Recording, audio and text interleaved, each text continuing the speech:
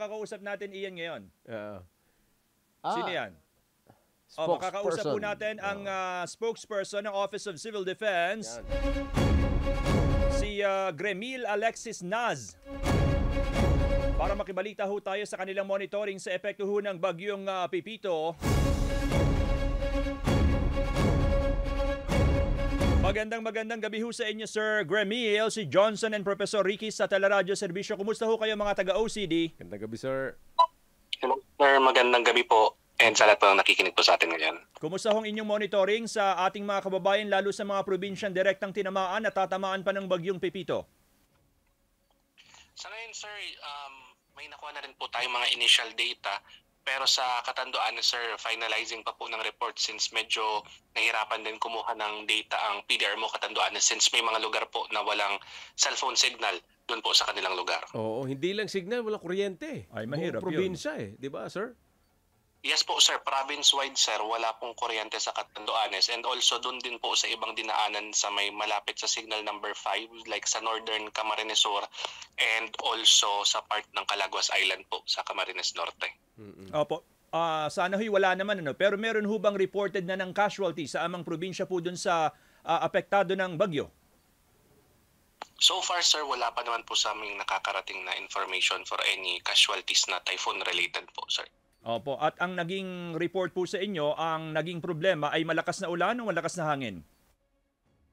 Um, gaya po sa Catanduanes, um, since continuous naman po ang makikipag-dialogue po namin, same with Northern Camarines Sur, yung naramdaman po yung lakas ng hangin, pag-ulan, ah, may mga information din po about storm surge and ibang rain-induced landslides po. Pero wala pa pong officially na rinirelay sa amin na report about that. Pero yung sa coordination, meron daw pong mga naganap po na ganun, sir. Opo nga, may mga nakikita nga kami sa mga social media, mga nagpo-post na meron mga storm surge. Saan daw ho yung medyo mas matindi ang naging tama ng storm surge, ah, Sir Grimil? Sa information po sa akin dito po sa may parte po ng Catanduanes and sa Northern Camarines Sur po, yung talagang matataas po na alon. Hmm. Kumusta ho mga taga-OCD ngayon? Mukhang wala rin ho kayong halos pahinga. Um, twen- uh, remaining po kaming 24-7 for red alert po namin since TS Christine pa po.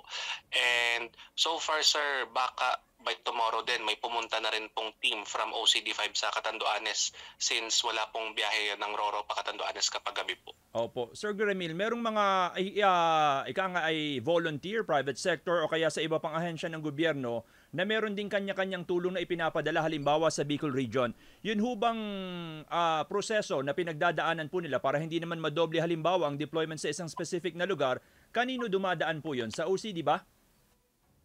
Um, pinapadiretso po namin sir sa um, LGU, uh, specifically po sa provincial capitals po.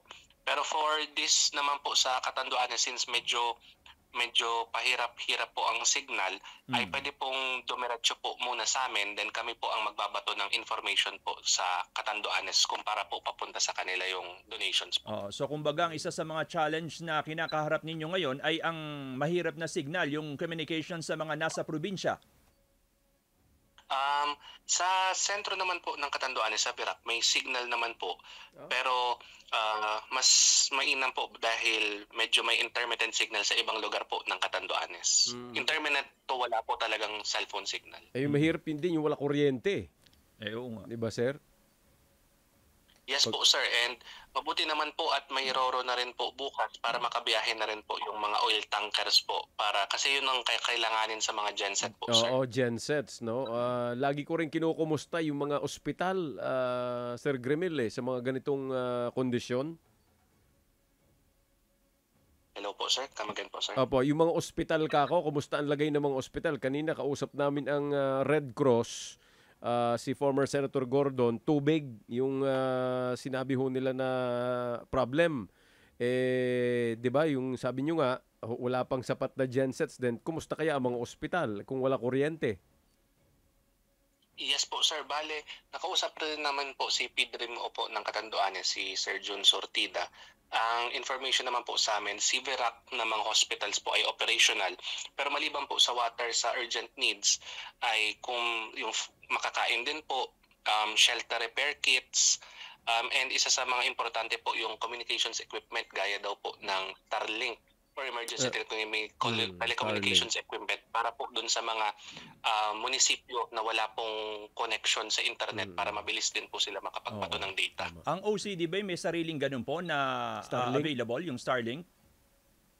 Ah, meron po kami sir sa office and meron din pong dinedeploy ang central office po namin. Pero by tomorrow po, once na ah, okay na po yung mga biyahe po ng barko, may dalawa pong mobile command vehicle capable of providing internet connectivity sa LGUs po um, from DICT and DSWD na tutulak po as soon as possible po na may roro na po bukas. Oh, speaking of Roro Ikamo, ito ba yung mga tawid dagat from Matnog Port patungo ng ah, ah, Northern Samar sa Allen?